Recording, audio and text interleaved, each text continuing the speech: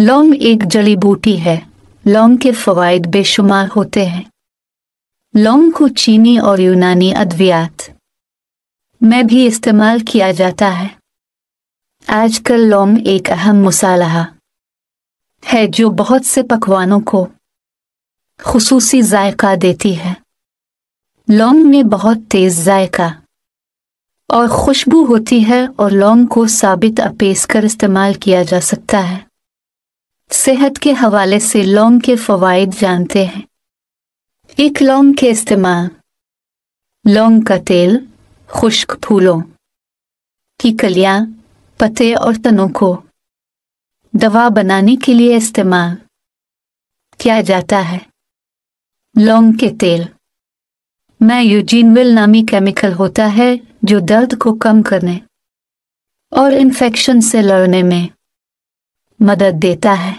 लोग आमतौर पर दांतों के दर्द, बदहजमी और दूसरी बहुत सी बीमारियों के लिए लौंग का इस्तेमाल करते हैं।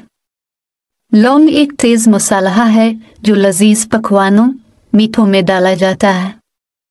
पुसी हुई या साबित लौंग गोश्त, चटनी और चावल के खानों, सालन और सास और सूप। को मज़ेदार बनाने के लिए इस्तेमाल किया जाता है। दो लौंग के फवाइद।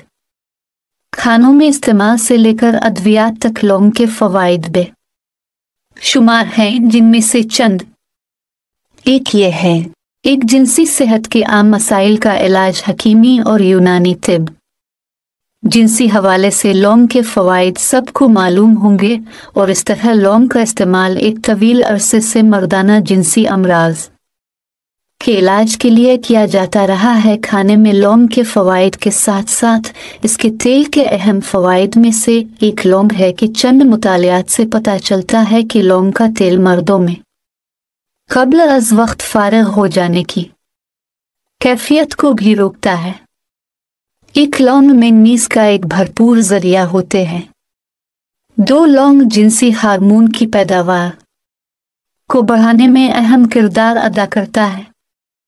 तीन लौंग सपर्म की गिनती सपर्म की हरकत और मजमुई जिनसी सेहत को काफ़ी बेहतर बनाती है। चार लौंग टेस्टोस्टेरोन की सतह को बढ़ाकर जिनसी रगबत को बढ़ा सकती है। पाँच इसके अलावा लौंग खून की गर्दिश को बेहतर बनाकर अपनी एंटीऑक्सीडेंट खसूसियत की वजह से उज्व तनासुर की नशोनुमा को सुस्त करने में मदद कर सकती है।